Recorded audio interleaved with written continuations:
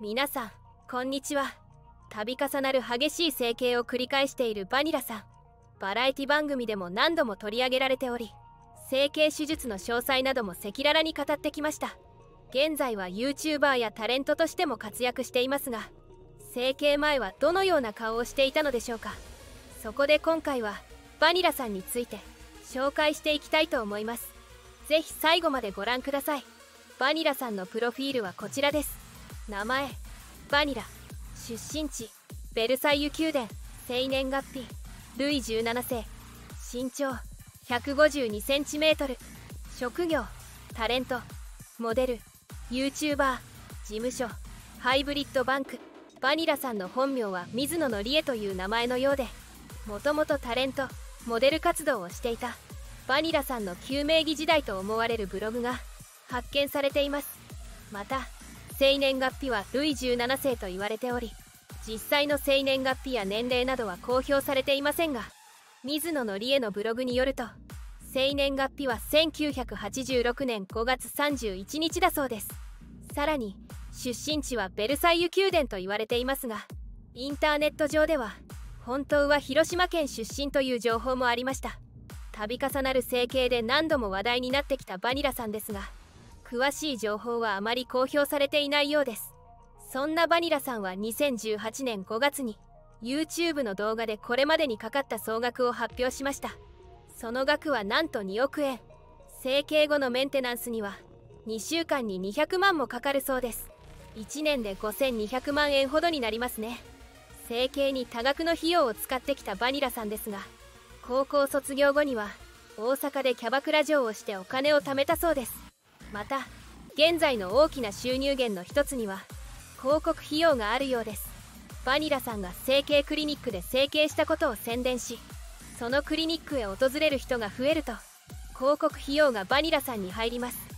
さらにバニラさんはバーバニラというバーを六本木で経営しています。またバニラさんは SNS や YouTube なども更新されておりインフルエンサーになっていることから SNS や YouTube などの収入もかなりあるのではないでしょうか。そしてこのような収入源から得たお金を美容や整形などにほとんどを当てているようです。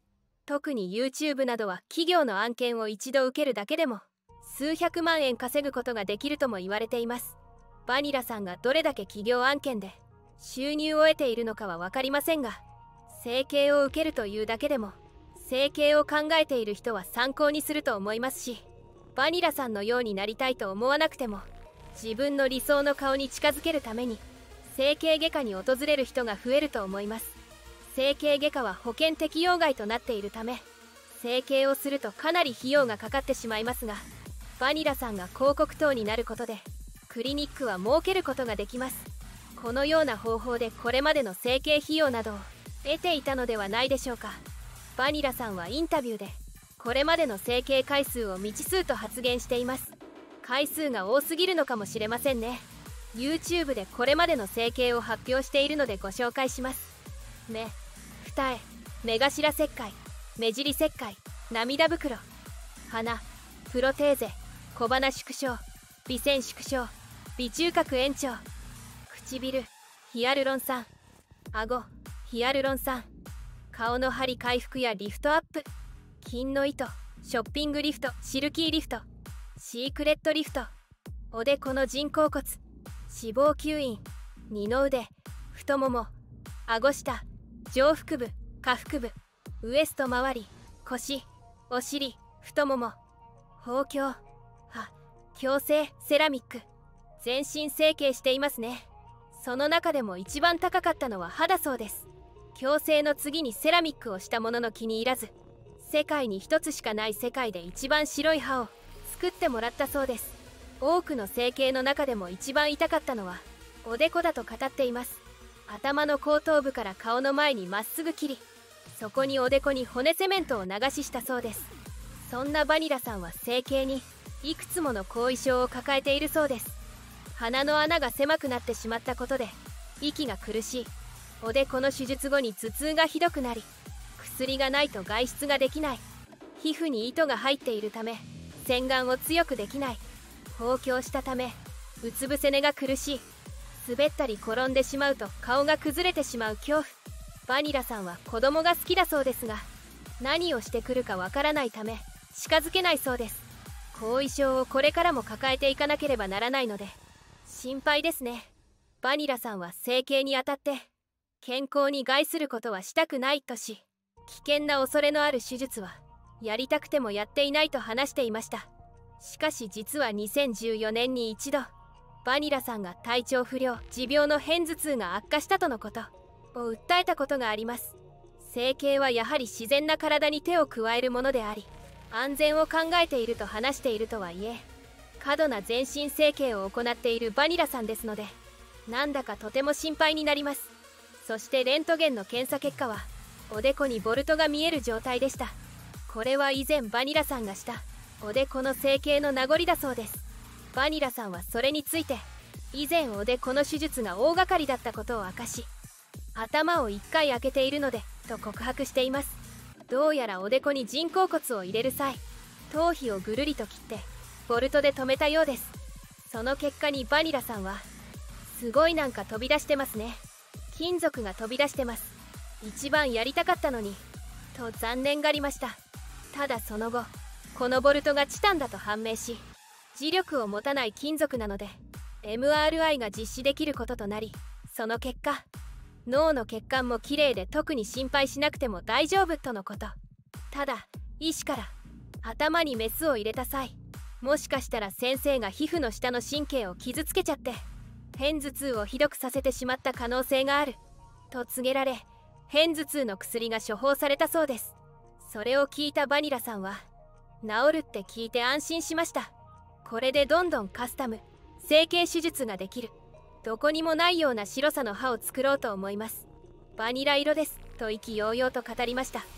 そんなバニラさんがこれほどまでに整形を繰り返すことにはどうやら過去が関係しているようです。バニラさんは中学時代の3年間にひどいいじめを受けていました。トイレの個室に入っている時に上からバケツで水をかけられたこともあります。ブスなどの暴言を吐かれたりする中助けてくれる人もいなかったようです。信じがたいことに先生にまで嫌がらせをされていました。半決めをする時に先生にわざといじめてくる人たちのグループへ入れられてしまったそうです。バニラさんは中学時代家で音楽を聴くことが癒しだったと語っています。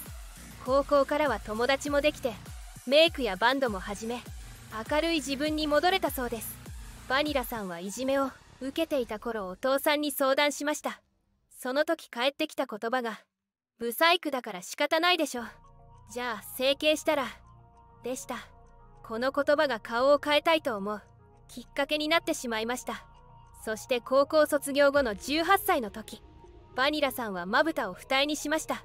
当時は普通のアルバイトをしていたそうですが綺麗になれたと思ったら他も直していきたいと思い整形にはお金がかかるため夜のホステスの仕事を始めたそうです。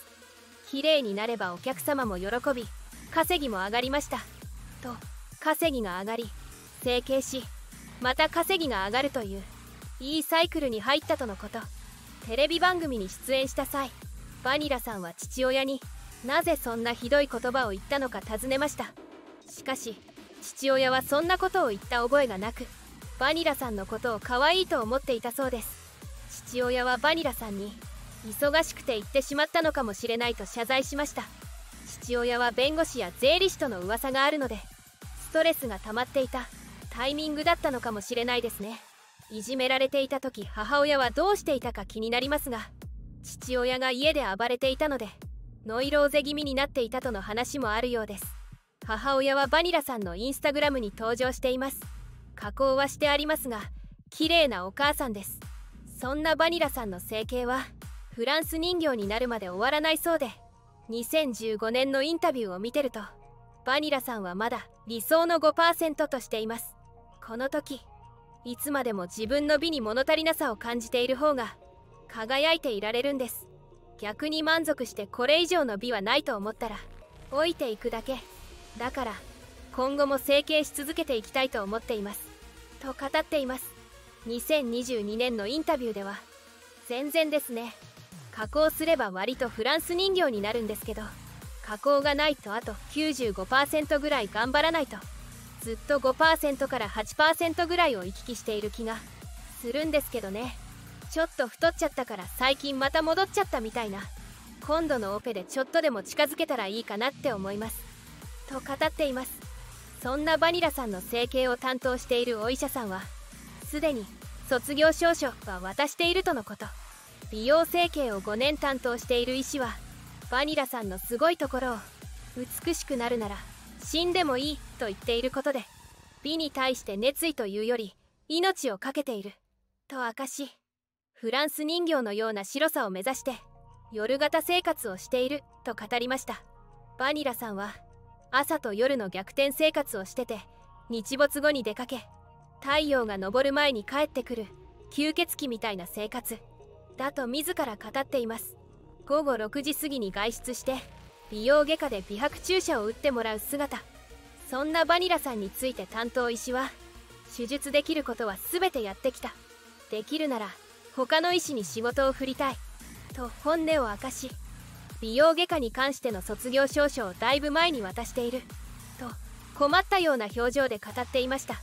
2022年には医師の麻生康さんが自身の YouTube チャンネルでバニラさんの整形に対し止める人っていうのが必要なんじゃないかと思う。などと指摘しました。この YouTube チャンネルに出演したバニラさんはそれ以上やるとマイナスにしかならないとかそういうこと言われたらやらないしやればいいとは思ってないですと説明しています。その上でただやりたいとかじゃないんですよ。本当に整形しないと落ち着かないとかそういう変な異常なことはなくてまだできる範囲であればもうちょっとこうしたいなっていうのをできる先生を探している感じです。と自分の思いを語りました。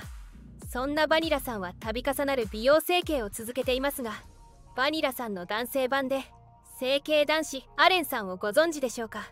アレンさんもバニラさんと同じようにこれまでに度重なる整形を繰り返してきておりアレンさんとバニラさんの関係が気になるという方も多いようです。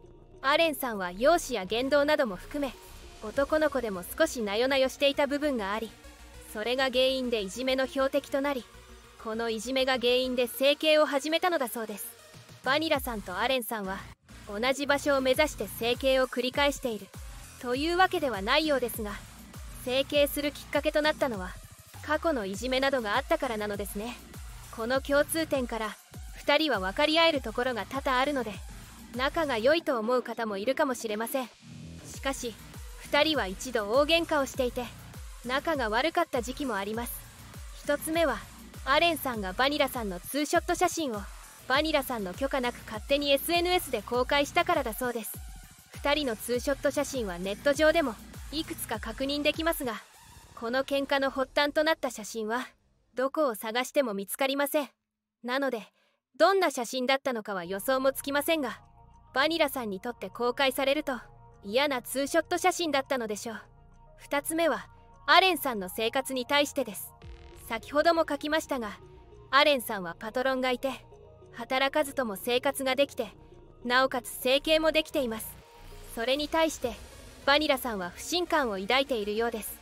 他にも2人の因縁エピソードはありますがそれでもプライベートではツーショット写真も多く出回っていますので本当に仲が悪いのかどうかは怪しいところです。